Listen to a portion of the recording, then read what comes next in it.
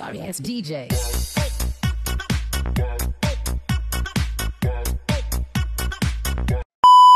Hello mga friends! Welcome back to my YouTube channel. This is Romeo Moreno Vlog! So for today's video, tayo ay mag-unboxing ng ano ba? Silver Play Button! Ito na nga!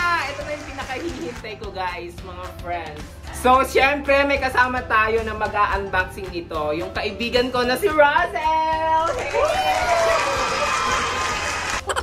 Meron din dito si Muymay kasi ayaw niyang sumama dito. Bakit? Eh, ito siya, oh, ayaw niyang sumama. Sa pagkahaba-habang panahon, dumating na din itong pinakahihintay nating silver play button. Talagang pangarap ko to na magkaroon. Tama ba? Tama.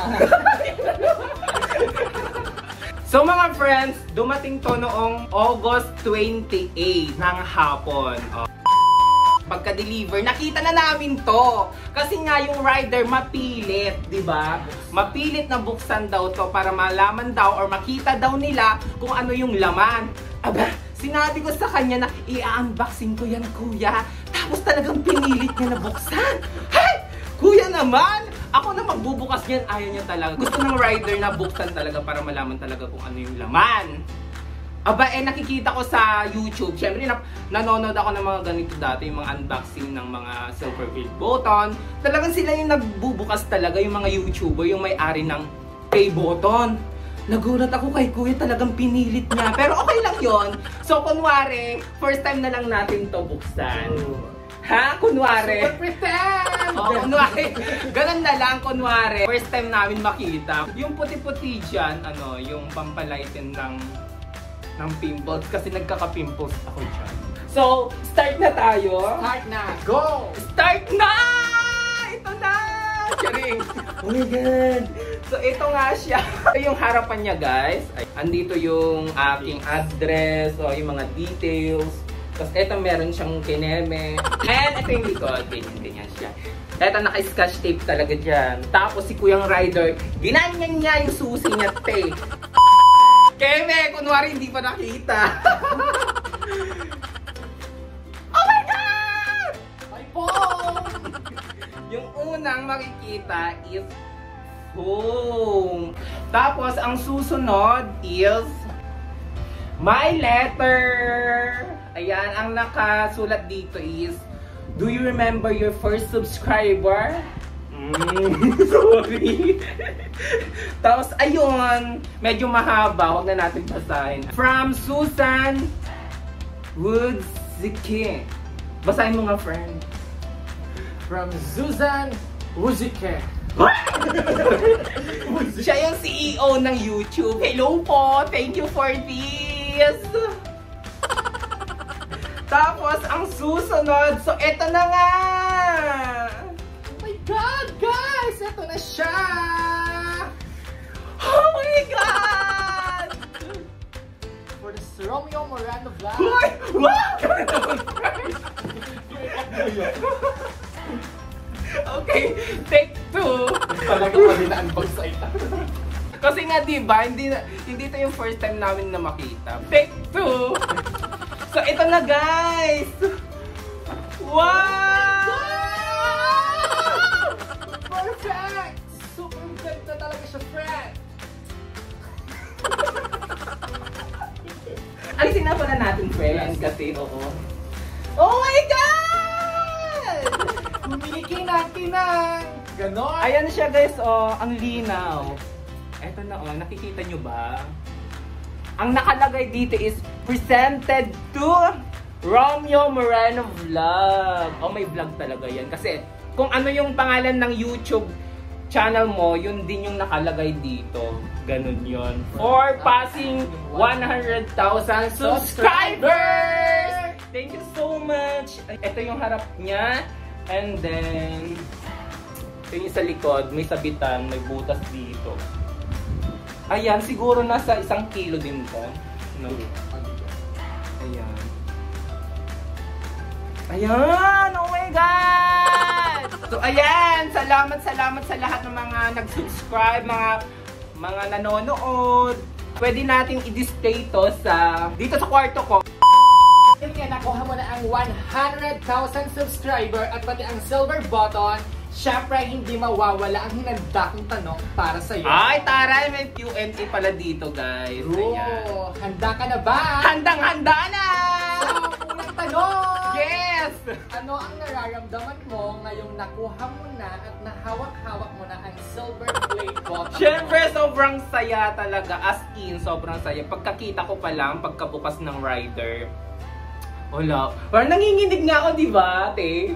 Parang nanginginig ako. Parang, basta ang saya. Kasi di ba, iilan lang yung mga nakakakuha ng ganito. Yes, tas, oo, mga, di ba? Kaya, thank you, thank you so much, YouTube. Thank you sa inyong lahat. So, di ba nga, um, bago mo makuha yan is madaming, ano, madaming bagay ka pang napagdadaan, tapos ilang taon ka nagsimula Yeah. na bago makuha yan, silver play button na yan. Ah, so nag-start ako 2018 yata. 2018 ako nag-start mag-vlog. Tama ba? Tapos, parang 2 years ako nag-stop. And then, yung after 2 years na yon nag-start ulit ako mag-vlog. Tapos, eto, Di ba sa YouTube nagsasahod kayo? Um, sa TikTok ba nagsasahod din kayo? sa mga hindi pala nakakaalam, nagti-tiktok din kasi ako, guys. Oo, sa YouTube, nagsasahod kami. oh. Depende yan sa mga views. Sa TikTok, nagsasahod din kami. Kung may mga brands or may mga products na ipapapromote, ipapa-endorse, mga ganon. Siyempre, isa pa sa mga tinatanong ng tao, kung malaki na ba ang sinasahod ni Romeo Morano Vlog sa kanyang YouTube channel? Hindi, saktong-sakto lang mga friends. Hindi ako kagaya ng mga big YouTuber na madami ay malaki yung sinasahod, ganon. Ako saktong-sakto lang kasi 'di ba, yung views ko medyo konti lang naman, ganon. Pero thankful pa rin ako doon. Kaya thank you, thank you sa lahat, sa mga nanonood pa rin dyan! Huwag kayong magsawa! Next question is, syempre, bago ka mag-umpisa dyan, alam naman natin na meron kang inspirasyon. Sino yung inspirasyon na yon para maisakatuparan mo yung pangarap mo na yan? Siyempre, family! Walang crush? I mean, crush ako, pero ano yun? Inspiration ko din sila sa paggawa ng mga video Malay sa mo, YouTube. silang nagpapasipag sa'yo. Sino naman yung YouTuber na ano na inspiration mo? Bakit ka pumasok sa ano sa linya ng pagiging YouTuber? Hoy, alam na nila yung mga iba dyan, yung mga nanood dati ng mga YouTube ko. Si Kuya Lloyd Cafe Cadena! Di ba? Ayun. So, syempre meron kang pinaka-gusto na YouTuber. Sino naman yung pinaka-ayaw mo na YouTuber? Ang pinaka gusto ko kasi si Alex Gonzaga, tapos si Kuya Lloyd. And yung tanong mo, sinong pinaka-hate ko? Yes. Wala naman. Wala, wala. So, ayan friends. So, di ba na abot mo na nga ang silver play button? Ano naman ang gagawin mo pa para naman masungkit mo ang gold play button? Posible naman yan na maabot natin. Charing, lakas ng confidence. Pero syempre siguro para maabot natin yung gold play button na yan. Tuloy-tuloy lang yung pag-upload, paggawa ng mga videos, mga inter- entertain na video, mga ganon. So, yon di ba mga ka-friends? Tuloy din tayong mag-subscribe sa YouTube na para masungkit niya yung susunod na button. So, ayan, di ba? Sabi mo kanina, um, nahinto ka ng dalawang taon. Yes! Dalawang taon! Ano yung rason bakit ka nahinto ng dalawang taon sa pag-YouTube? Mahirap kasi mag-YouTube as in. Iilan lang yung mga nanonood, tsaka iilan lang din yung subscriber ko noon. Kaya parang tinamad ako. Sabi ko sa sarili ko na ayoko na, wala namang nanonood, tsaka konti lang naman yung subscriber ko, ganun, ganun. Kaya yung dahilan kung bakit nag-stop ako. Kaya yung mga small YouTubers dyan, yung mga nag-start pa lang, yung mga nawawalan ng mga pag-asa na na mag-grow yung YouTube nila. Go lang ng go! Huwag kayong mawalan ng pag-asa, then tiwala lang. Laging magsipag gumawa ng contents, ganon.